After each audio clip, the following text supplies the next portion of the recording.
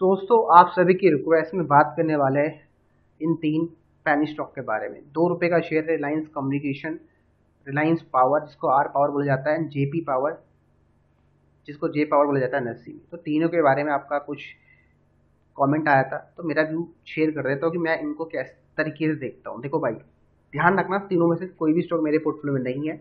हाँ बहुत पहले तीनों के ऊपर एक वीडियो बनाया था मैंने, तीनों स्टॉक अच्छे लगते थे, सस्ते प्राइस में। जहाँ से हमें more than hundred percent two hundred percent three hundred percent का रिटर्न भी आया। राइट एक कंपनी जेपी पावर अच्छे खासे प्रॉफिट दे रही है। ठीक है? और आप लोगों को लग रहा है कि अच्छे प्रॉफिट आ गए तो फ्यूचर में कंपनी अच्छा कर सकती है। अब सबका अपना अपना व्यू होता है भाई। मैं गलत नहीं ठहरा रहा हूँ किसी को। लेकिन मेरा व्यू ये है कि प्राइस ऑलरेडी चार रुपये से तेरह रुपये तक गया था। तो ये ऑलरेडी डिस्काउंटेड हो चुका है उसके प्राइस में। तो इतना मत, बड़ा अपना ना बड़ा टारगेट मत बनाओ स्टॉक में छोटे छोटे गेंस बुक करो और एग्जिट करो राइट ये नहीं कह रहा हूँ कि आप स्टॉक में, अगर आपने पाँच रुपये बाई किया, जैसे कॉमेंट आया था, पर प्रॉफिट में बैठे अभी अच्छे खासे हम्म? तो ध्यान रखो, कुछ रूल बनाओ सिस्टम बनाओ रूल बनाओ कि मार्केट ना ऊपर, नीचे ऊपर, नीचे करते रहेगी राइट अगर आपने बहुत अच्छा एक्सपीरियंस है तो आप उस जो अप्स एंड डाउन होते हैं, उसको आप झेल लोगे। लेकिन जो कि जो बिगनर होगा ना, वो उसको नहीं झेल पाएगा। तो हमेशा अगर आप बिगनर हो या फिर आप एक्सपीरियंस होल्डर हो तो आप तो कैरी करो भाई ज़िंदगी भर के लिए। लेकिन जो बिगनर है ना, वो अप एंड डाउन को कैरी नहीं कैरी नहीं कर सकता। उसको क्या करना चाहिए? उसको हर एक लेवल में प्रॉफिट बुकिंग करनी चाहिए। अगर उसको नज़र आता है कि यार ये स्टॉक यहाँ से रिवर्स कर सकता है तो बिल्कुल भी डरना नहीं है एग्जिट करने से। अब मैं ये नहीं कह रहा हूँ कि पूरी पूरी क्वांटिटी कर दो। ठीक है, अगर आपके पास सौ शेयर है तो पचास करके देख लो ना। पचास तो पड़ा रहेगा ना। समझ गए? तो आपको प्लान बनाने पड़ेंगे। ये प्लान आपको देखो, खुद से बनाओ या जो जो चीज़ें बता रहा हूँ प्रैक्टिकल वो कर लो भाई। ठीक है? जैसे जेपी पावर में अगर आपका पैसा डबल हो गया तो सबसे पहले कैपिटल को निकाल लो और प्रॉफिट को रहने दो बड़े गोल के लिए। फिर अगर 200 परसेंट हो जाए, दोबारा से निकाल लो 100 परसेंट। तीन हो जाए, और निकाल लो। तो ये सब गेम है। ये प्लानिंग आपको लिखनी पड़ेगी और लिखने के बाद आपको उसको एग्जीक्यूट करना पड़ेगा। अगर नहीं करोगे ना तो फिर ये जो अप्स एंड डाउन जो मार्केट में आते ही आते रहेंगे भाई। ठीक है? और डेफिनेटली फिर आप एक बार ये भी सोचोगे, अरे यार, पाँच रुपये मैंने खरीदा था, पंद्रह रुपये तक साला गया, एक रुपये का प्रॉफिट बुक नहीं किया, और दोबारा पाँच में आ गया। तो क्या फ़ायदा हुआ मार्केट में? ऐसे मतलब जब आते हैं ना क्वेश्चन फिर आप लॉन्ग टर्म नहीं टिक पाओगे। समझ गए? इसलिए जब भी कोई ट्रेड या इन्वेस्टमेंट करते हो, पहले से बना लो प्लान कि भाई मेरा ये है, मेरा ऐसा है, वैसा है।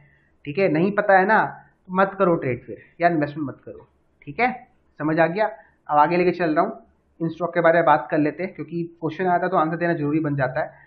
तो सबसे पहले जो क्वेश्चन है, देखो ये है, ये स्टॉक के बारे में, ठीक है? ये स्टॉक का नाम है रिलायंस कम्युनिकेशन दो रुपये का शेयर है। मैक्स आप लोग देख सकते हो, डब्बे में गिरा हुआ है मतलब एक फ्लैट रेंज बना रहा है। चार्ट पैटर्न क्या बोलता है, वो देख ले। देखो कंपनी एकदम लुल है भाई। कंपनी में कुछ नहीं है, ठीक है? नील बट्टा सन्नाटा है। तो अगर यहाँ आपको कमाना है पैसा तो आपको यहाँ पर कुछ स्ट्रैटेजी डेवलप करनी पड़ेगी। It could be price action it could be pattern अब आप देखो कि आप लोगों के लिए क्या काम करता है। ठीक है? मेरे हिसाब से देखो, अभी जो स्टॉक है, मैंने इसका चार्ट खोला। चार्ट मुझे क्या नज़र आता है, मैं पहले वो देखता हूँ। अगर मुझे कुछ नज़र आता है तो मैं आपको बताता हूँ कि आप ये करो। ठीक है? तो देखो, ये स्टॉक ने एक अच्छा खासा पंप दिया ऑलमोस्ट यहाँ से, और यही एक सपोर्ट बन रहा है इसका।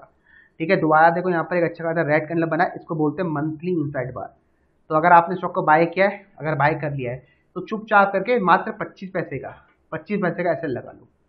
चुपचाप करके पच्चीस पैसे का ऐसे लगा लो, दो पच्चीस पैसे वाला ना, ये ऐसा लगा लो, देखो लास्ट दो महीने से यहीं घूम रहा है।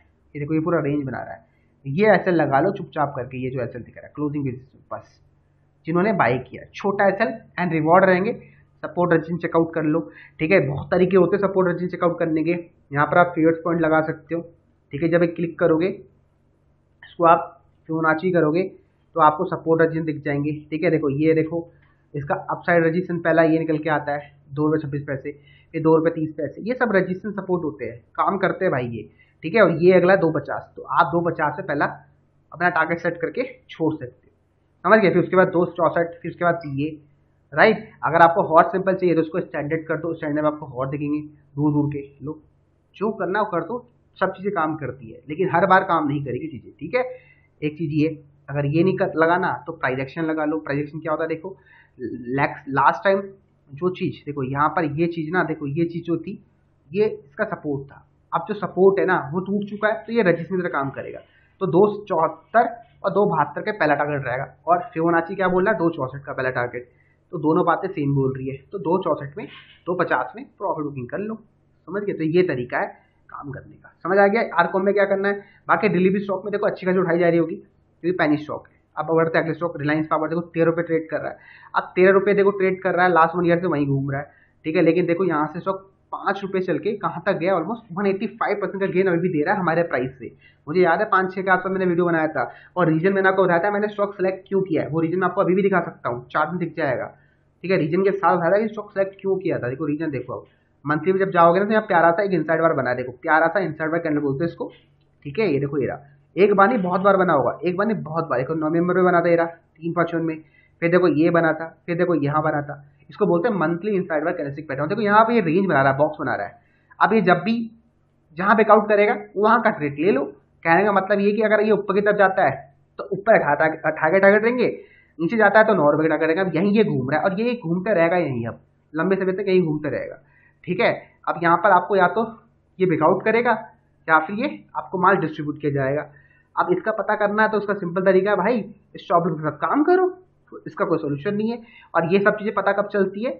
ये पता होना चाहिए कि स्टॉक का प्राइस कहाँ से कहाँ भागा अब देखो ना स्टॉक का प्राइस यहाँ से तीन रुपये से आपका अठारह रुपये गया है। तो यार सिंपल सा लॉजिक है ना, तीन बजे अठारह हो गई। तो यहाँ पर आप क्या किया जाएगा, आप समझ लो भाई, आपको माल डिस्ट्रीब्यूट ही किया जाएगा। ठीक है, अगर उसको जाना होता है तो ये कब का ऊपर चले जाता। ठीक है, नहीं जा रहा, इसका ना यहाँ घुमाएँगे, इसको घुमाएँगे घुमाएँगे, फिर पलट देंगे नीचे की तरफ़। सिंपल है, क्योंकि आठ नौ महीने देखो यही घूम रहा है और दो महीने के अंदर काम तमाम कर दिया था। समझो, सस्ता महँगा समझो ना भाई, चार्ट खोल लो मंथली, सस्ता महँगा समझ आ जाएगा आपको, मैं कहना चाहता हूँ। ठीक है? अगला स्टॉक है जेपी पावर, अब देखो सात रुपये आ चुका है। अब अब मुझे याद है, इसके जब अच्छे रिज़ल्ट आए थे, नौ रुपये का ट्रेड कर रहा था।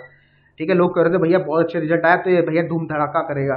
माल सौ तीस परसेंट टूट चुका है। अब भाई देखो मैंने क्या बोला, चीज़ें ऑलरेडी डिस्काउंट हो चुकी होती है। देखो एट्टी फाइव पैसे का स्टॉक था जेपी पावर भाई एट्टी फाइव पैसे। पचास पैसे का भी स्टॉक था ये तो यार। मैं तो आप देख रहा हूँ। और भाई स्टॉक ने तेरह सौ का डन दिया है। अब जिस व्यक्ति ने पचास पैसे में बाई किया, वो क्या करेगा? होल्ड करेगा भाई। अब आप लोग लेट लेट हो। आप लोग रिसर्च नहीं करते हो। ठीक है? तो भैया डेफिनेटली आपको लॉस ही होगा। मतलब आपको लेट एंट्री मिलेगी। अब इसका रीजन मैं आपको बता दूँ स्टॉक मैंने आपको क्यों दिया था? मैंने आपको स्टॉक यहाँ दिया था। इसके अंदर because monthly inside candlestick pattern अब देखो स्टॉक यहाँ पर रेंज बना रहा है। ठीक है? तो यहाँ पर अगर आपका सेटअप बनता तो यू कैन बाय नहीं बनता सेटअप तो छोड़ दो। ठीक है? अब आप बोलोगे, सर, ये नीचे आएगा। देखो भाई गारंटी किसी चीज़ की नहीं है। ठीक है? लेकिन मैं अभी ना कोई रुचि नहीं ले रहा हूँ स्टॉक को बाय करने की। क्योंकि मुझे अभी कोई मज़ा नहीं, दिख नहीं रहा कि स्टॉक ऊपर जाएगा। क्योंकि ऑलरेडी ये स्टॉक बहुत ऑलरेडी पंप हो चुका है। अभी ऑलरेडी ऑलरेडी पंप हो चुका है तो भाई मैं क्यों यहाँ पर रिस्क लूँ, क्यों लॉस लूँ? क्योंकि इसके एट्टी एट परसेंट चांस है कि नीचे गिरेगा। सिर्फ़ ट्वेल्व परसेंट चांस है ऊपर जाएगा। अब मैं भैया ऐसा बैट क्यों लगाऊँ जो मेरे अगेंस्ट हो? समझ लो इसलिए मैं स्टॉक को नहीं देख रहा हूँ। यहाँ मंथली में एक प्यारा सा इंटरव्यू कैंडल बना है। You can take the risk अगर लेना चाहते हो। लेकिन मैं नहीं लूँगा।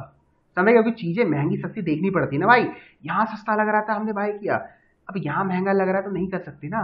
हर जगह बाय सेल नहीं कर सकते ना भाई। समझ गए? तो यहाँ अगर आपको रिस्क लेना तो ये आपका बाय रहेगा, ये आपका स्टॉप हो जाएगा। कर लो बाय ठीक है? रिक्स रिपोर्ट के हिसाब से करो। अब रिक्स रिपोर्ट रेशियो क्या रहेगा? ये आपका टारगेट रहेगा।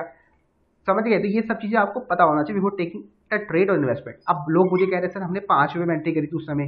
अब भाई, पाँच वाली चीज़ अगर ग्यारह रुपये की हो गई तो यार पैसा डबल हो गया।